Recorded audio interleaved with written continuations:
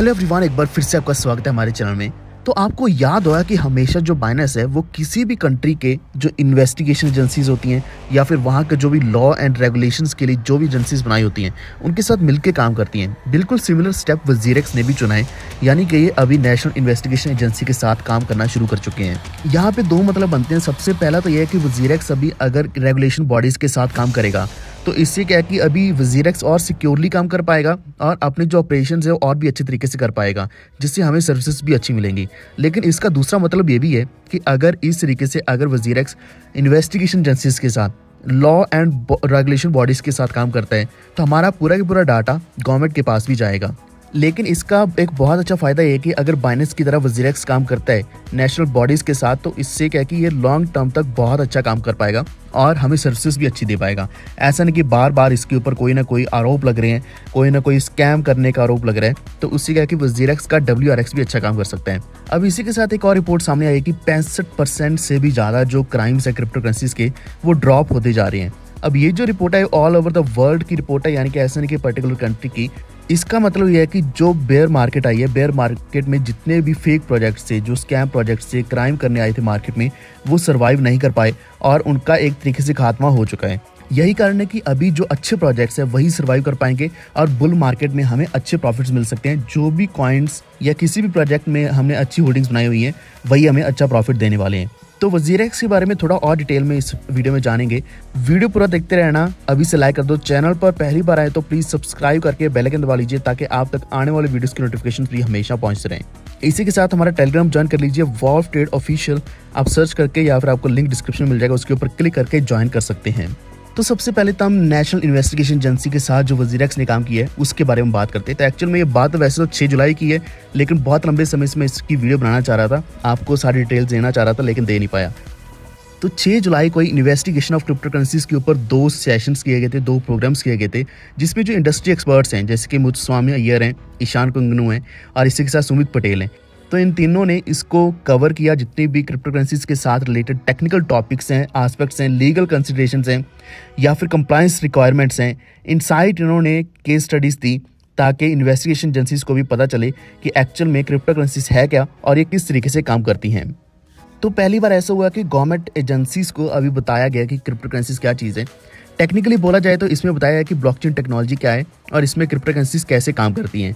इसी के साथ इसेंशियल टर्मिनोलॉजी बताई गई इनको, जैसे कि हमें भी पता होता है, फोमो होता है, या फिर हम बात करें रेक्ट की बात करें, ऐसे हमने कुछ ना कुछ वर्ड्स यूज़ करते हैं बुल रन बेयर मार्केट या ऐसे कितने भी वर्ड्स हैं, उन सभी वर्ड्स की या फिर टर्मिनोलॉजी उनको समझाई गई। इसी के साथ वॉलेट्स को सर्च करना ओपन सोर्स वेबसाइट्स को एक्सेस करना, या फिर उनके ऊपर ट्रांजेक्शन को चेक करना क्रिप्टो करेंसीज के ऊपर सीजर ऑपरेशन कैसे किए जा सकते हैं, ये बताया गया। इन्वेस्टिगेशन बताएगी कि वॉलेट्स को किस तरीके से इन्वेस्टिगेट करना है। क्रिप्टो करेंसी एक्सचेंजेस के ऑपरेशंस किस तरीके से काम करते हैं ट्रांजेक्शन्स किस तरीके से होती हैं, ये सब कुछ बताया गया टेक्निकल तौर पर।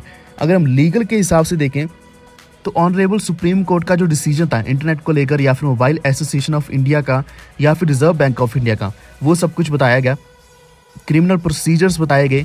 इसी के साथ साथ इंटरमीडियरीज कैसे इन्वॉल्व रहते हैं क्रिप्टो करेंसीज में? यहाँ पे लीगैलिटीज क्या क्या ये बताया गया। और कंप्लायंस की बात करेगी के हमेशा हर एक एक्सचेंज के ऊपर होती है।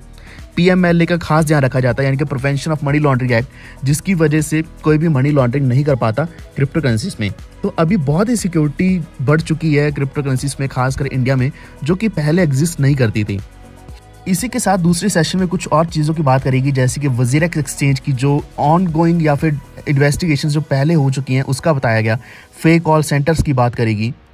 क्रिप्टो करेंसीज के द्वारा आईएसआईएस को जो फंडिंग करी जाती है, उसके बारे में बात करेगी। इसी के साथ मंगलुरु ब्लास्ट इन्वेस्टिगेशन। अब ये सारी चीज़ें कैसे इन्वॉल्व हैं क्रिप्टो करेंसीज के साथ? इसका मतलब ये है कि जहाँ यहाँ से जब भी पैसा निकाला जाता है, या फिर यहाँ से जो भी मनी लॉन्ड्रिंग करी जाती है टेरर फंडिंग करी जाती है, वो क्रिप्टो करेंसीज में बहुत बड़े हिस्से में होती है। खासकर किसी किसी वॉलेट के द्वारा पेमेंट्स करी जाती हैं किसी और कंट्रीज़ में। और ये सब कुछ बिल्कुल क्लियरली बताया गया गवर्नमेंट को गवर्नमेंट एजेंसीज को, ताकि वो भी इन चीज़ों को और भी क्लियरली और और भी अच्छे तरीके से हैंडल कर पाए आने वाले समय के अंदर। तो इन्वेस्टिगेशन ऑफ़ क्रिप्टो करेंसीज को आप ऐसा मान लो कि इस सेशन के बाद हमारी जो गवर्नमेंट की नेशनल इन्वेस्टिगेशन एजेंसी है, वो इस चीज़ को समझ चुकी है और उनको भी पता है कि कैसे इन्वेस्टिगेशन करनी है। हर एक चीज़ उनको समझ आ चुकी है। आज नहीं तो कल अगर कोई भी क्राइम करता है, जिसकी वजह से हमारा भी बहुत बड़ा लॉस होता है तो वो लॉस अभी नहीं होगा। और वैसे भी ऑल ओवर द वर्ल्ड अगर हम बात करें तो पैंसठ परसेंट से भी ज़्यादा जितने भी क्रिप्टो क्राइम्स थे, वो कम हो चुके हैं। तो ये खासकर 2023 की बात करी जा रही है कि 2023 में ये कम होने के साथ साथ अभी क्या कि जो अच्छे प्रोजेक्ट्स हैं, वो भी बहुत अच्छा परफॉर्म करना शुरू कर चुके हैं। लेकिन यहाँ पे जो डिक्लाइन सबसे ज़्यादा आया है, वो जैसे कि हैक्स हो गए मालवेयर्स हो गए, इनमें आया डार्क नेट मार्केट्स की बात करें, या फिर child abuse material fraud shops cyber criminal administration scams ransomware इन सभी में एक बहुत अच्छा डिक्लाइन है। तो सब टोटल बहुत ही बड़ा बनता है अगर अगर हम इन सब का टोटल करते हैं तो। और सबसे ज़्यादा जो डिक्लाइन है वो स्कैम्स में है। अब स्कैम्स में क्रिप्टो करेंसीज भी बहुत ज़्यादा इन्वॉल्व रहती हैं। और यही कंपनीज़ जो बड़ी बड़ी स्कैम करते हैं, यही बहुत ही तेज़ी से अभी डिसअपेयर होती जा रही हैं, यानी कि बिल्कुल ख़त्म होती जा रही हैं पूरे वर्ल्ड में से। अब बहुत सारे ऐसे प्रोजेक्ट्स थे जैसे कि जियो डॉच डॉट कॉम ऑर्बिट शॉप है मोटाउजा डॉट कॉम है V D look dot I O है crypto crown dot V I P ऐसे कई सारे प्रोजेक्ट्स आए थे जिन्होंने बहुत ज़्यादा पैसा इकट्ठा किया है। लेकिन अभी जो नया एनालिसिस आया, उसके बेसिस पर हम यही समझ पा रहे हैं कि अभी स्कैम्स होने बंद हो चुके हैं स्कैम्स बहुत कम हो चुके हैं। आप यहाँ सामने भी देख सकते हैं minus seventy seven percent inflows कम हो चुके हैं स्कैम्स के।